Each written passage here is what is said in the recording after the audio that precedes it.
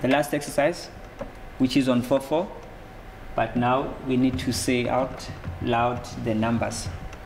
One, two, three, four, one, two, three, four. One and a two and a three and a four and a. Thank you.